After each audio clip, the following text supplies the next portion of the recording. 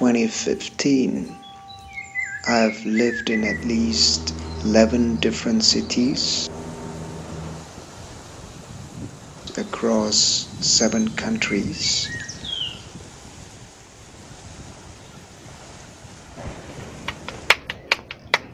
With the objective of keeping my total cost of living low while still enjoying a high quality of life.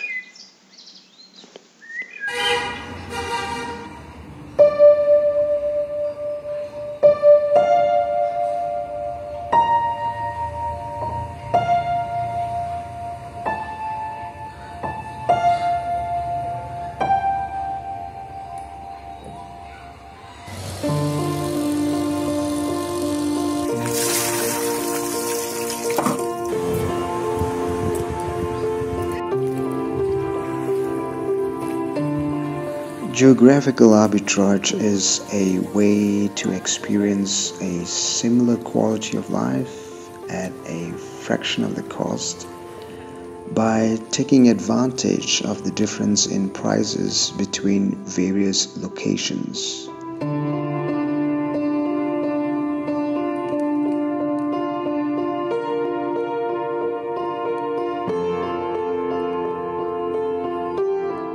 Alright, welcome to my home.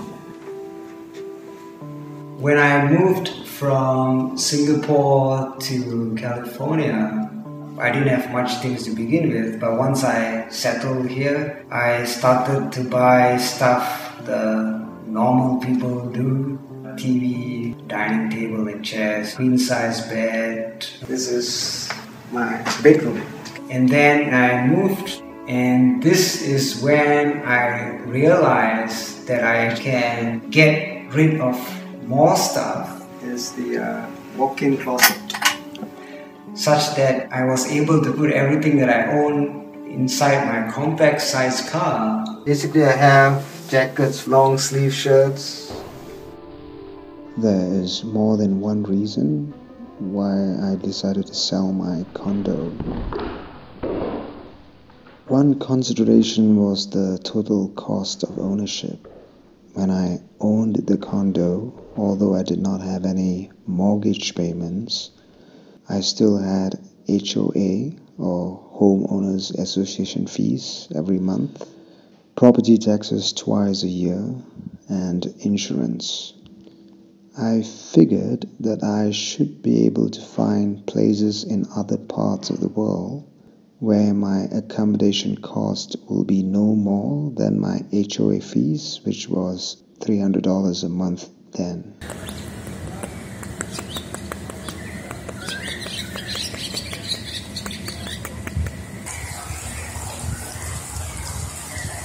In many ways, my life is simpler now than when I owned a house.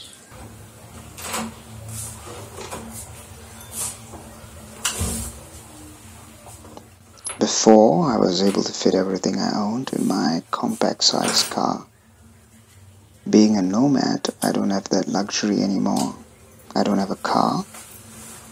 So everything I own has to fit into my carry on luggage. I only have one pair of footwear. It certainly makes this sort of lifestyle easier when you can carry all that you own. Most of the time I'm staying in tiny homes, meaning that the rooms are about 300 square feet.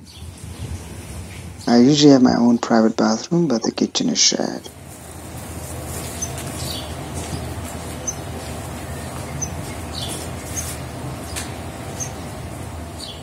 When I began on this journey five years ago, my focus was only to live in places of eternal spring. These are places that are supposed to have spring like weather throughout the year. There were two main reasons why I preferred places of eternal spring. One, I prefer mild weather and do not like to depend on an AC or a heater. Two, these places, because of the weather, tend to be the breadbasket for the region, and hence you can get fresh fruits and vegetables throughout the year. Y de la de nuevo le cuesta a 11 pesos. Aquí le ofrecemos productos orgánicos, eh, nada de químicos ni fertilizantes.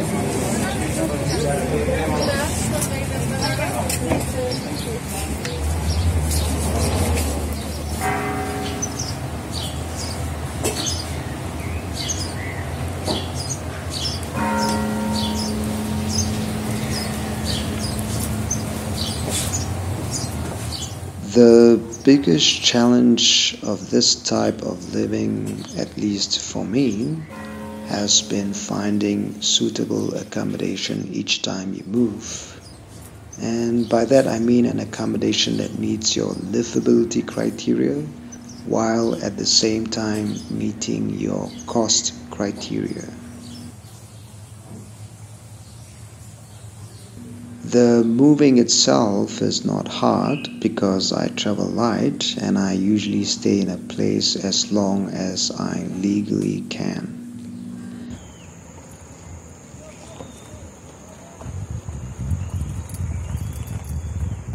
Other than Vietnam, I've not had the need to apply for any visa for all the countries I've lived so far. Since I'm staying only as long as a tourist can legally stay, which is mostly three months, but in Mexico it is six months.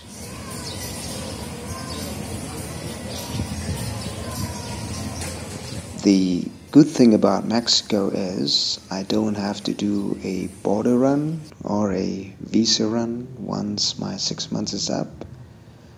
I pay a lawyer about $200 and she gets my stay extended.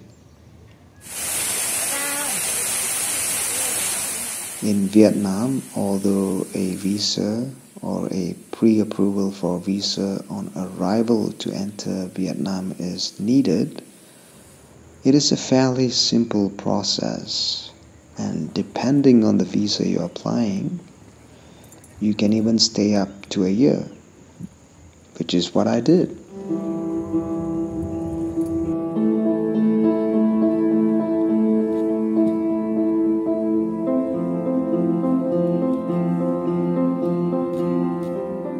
During my travels, I've come across hotels or restaurants that have a piano or a guitar.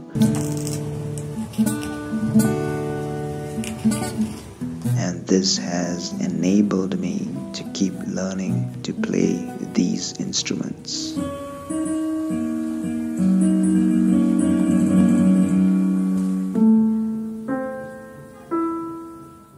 In the absence of that, there are apps that allow you to practice these instruments on your laptop.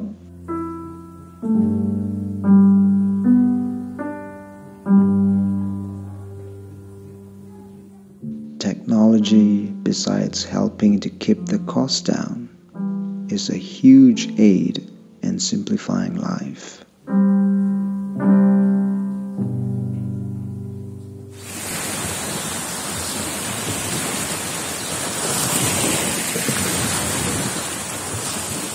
For the most part, my typical day is location independent. No matter where I am, I spend time in my spiritual practice.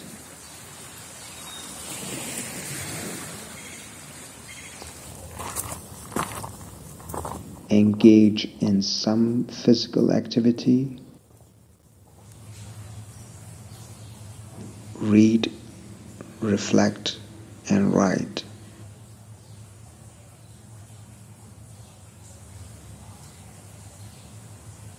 I try to focus on one task at any one time instead of multitasking. I also do not engage in activities just to keep myself busy. Sometimes doing nothing is beneficial. The Italians will call it la dolce far niente, or the sweetness of doing nothing. And that can be hard because we are action bias.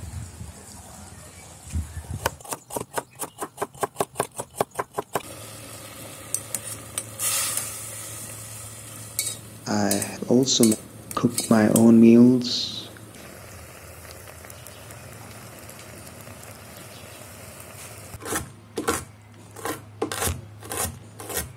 My food cost has been less than $200 a month. So far, my accommodation cost has been about $300 a month, and that includes utilities and internet. The model of low ownership. That's what I'm trying to do. I don't have any pot, pan, or any kitchen utensils, and yet I cook most of my own meals. The beauty about living a simple life with few possessions is that you don't have the headache of repair maintenance that comes with ownership. And you can only lose what you have. For the last five years, I've been traveling with just one pair of footwear. And after many years, the sole was worn out. Vamos a hoy vamos a reemplazar, reemplazarle la suela, cambiarle la suela.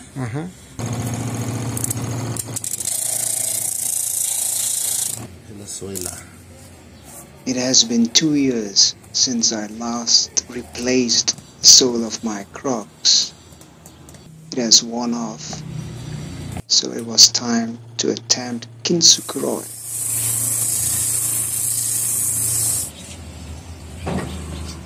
There's a Japanese art of repairing broken pottery called kintsukuroi or golden repair. Ahí está. Wow. As a philosophy, it treats repair as part of the history of the product rather than something to disguise and is capable of turning broken objects into something more beautiful than the original.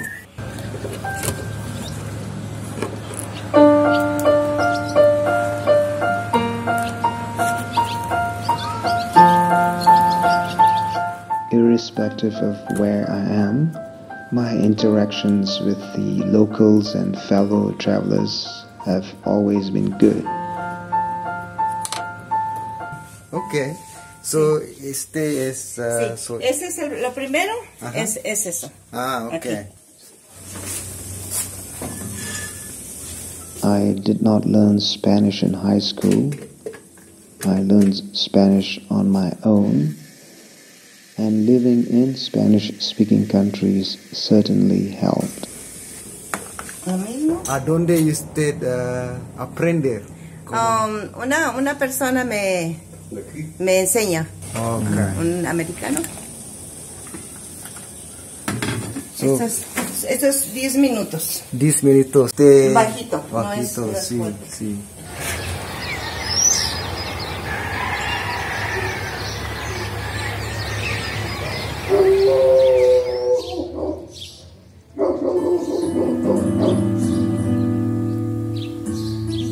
I do not know how long I will continue living this way. At this point, I am content with this way of life.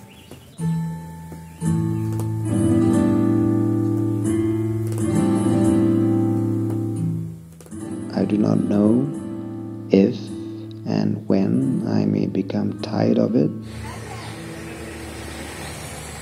Geographical arbitrage and places of eternal spring have been my primary considerations thus far, but that may change in the future. I do not know. What matters is the ability to pivot as and when conditions change. There has been at least one thing that I have liked in each of the places that I've lived, such that if for some reason I was to be stuck in any one of these places indefinitely, let's say due to a pandemic, it won't be that bad.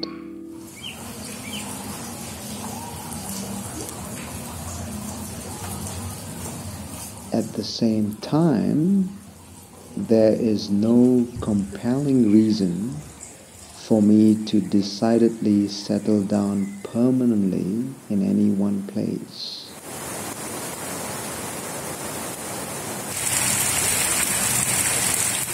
One thing that is on the back of my mind is climate change, which I think people may be underestimating.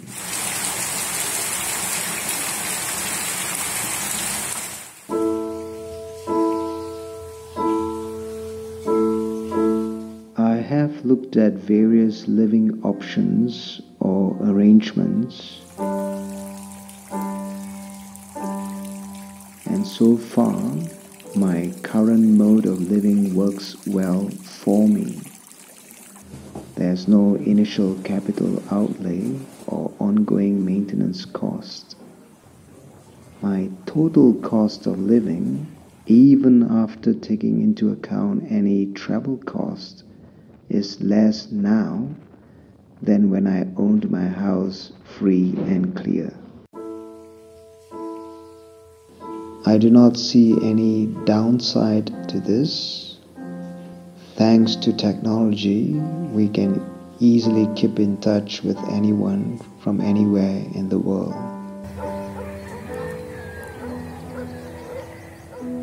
So, for now, I enjoy the present. When conditions change, and if I have to move, I'll move. After all, modern humans lived as nomads for 99% of our history.